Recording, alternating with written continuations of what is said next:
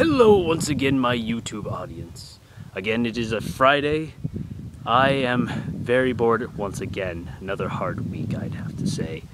So, this is another. This is Nick bored. So, two, I believe, maybe three. I haven't been keeping count.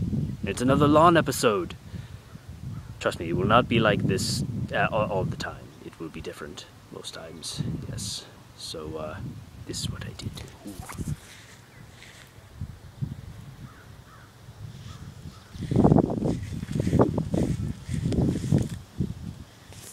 Yes, that is I love you, written in the grass, the long grass.